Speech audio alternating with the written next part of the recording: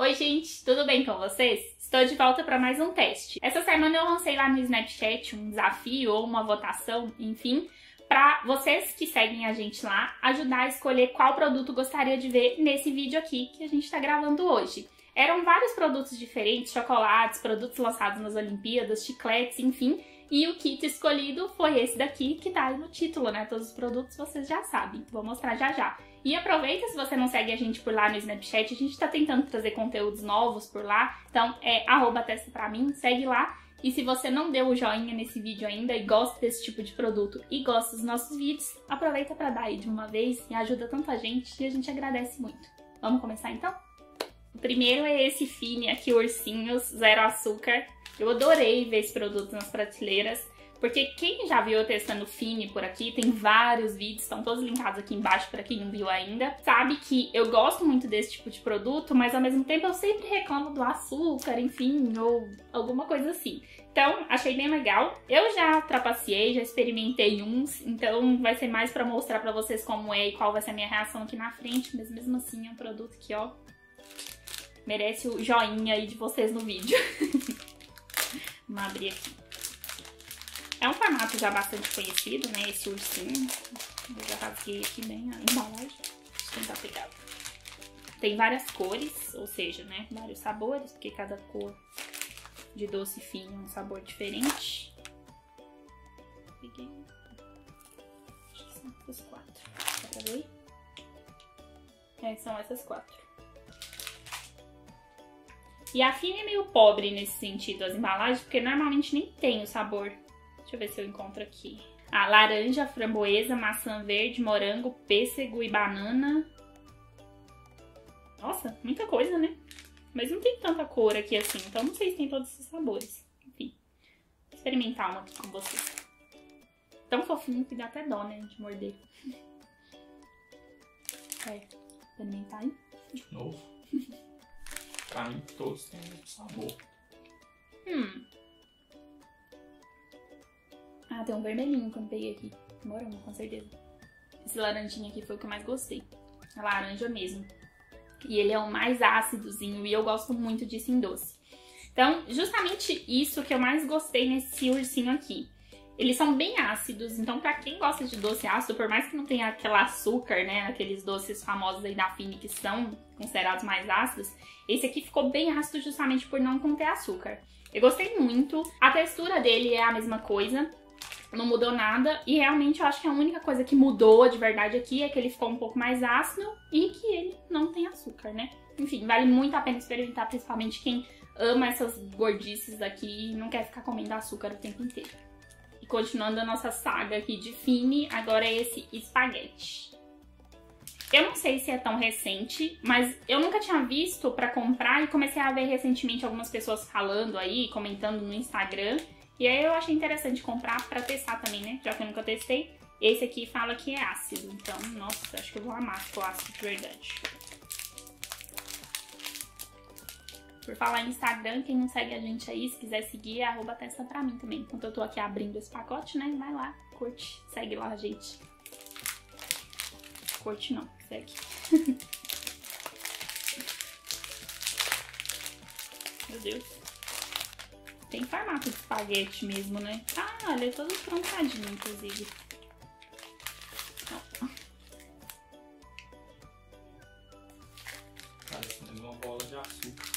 É, mas ó, ele tem um negócio de. parecendo um monte de macarrão cozido.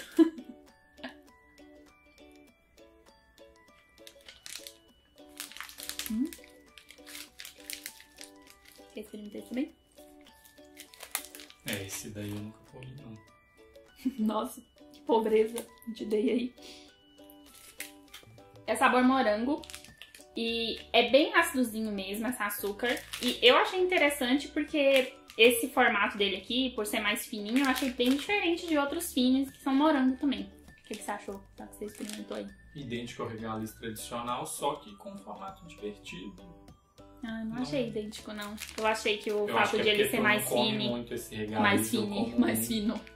Ah, é. Muito então... esse regaliz pra mim. Eu achei diferente. Eu achei que o fato de ele ser um pouquinho mais fino. Eu ia falar mais fino de novo. O fato de ele ser um pouco mais fino acabou modificando um pouco.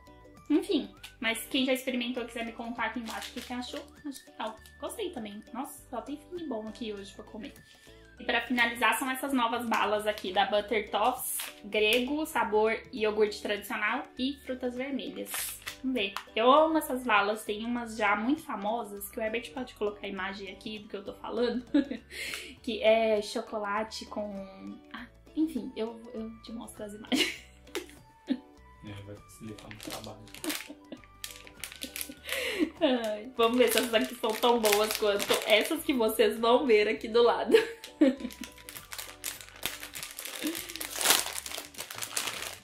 Hum, eu ia reclamar falando que o pacote não era bem dividido, mas é assim. É porque eu não tava conseguindo ver todos. Que eu achei que tinha muito mais de um sabor do que de outro. Frutas vermelhas, a embalagem tem um pouquinho de vermelho. E a tradicional é mais azul e branca. Legal. Começar pela... Qual? Frutas vermelhas.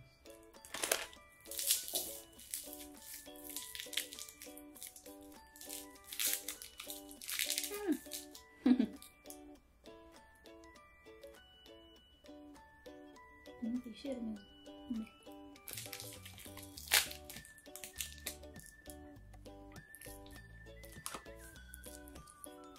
Ela tem um recheiozinho com sabor de frutas mesmo, alguma coisa pelo menos que lembra morango ou algo assim.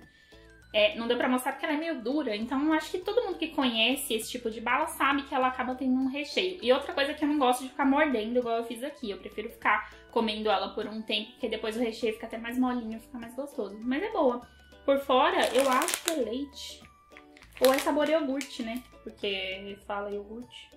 Não, caramelo de leite com recheio. Então é isso mesmo, é leite por fora e aí por dentro tem o recheio de grego, né? Iogurte. Muito boa essa de frutas vermelhas, vamos ver a tradicional. Hum, bem branquinha. Bonita até essa cor.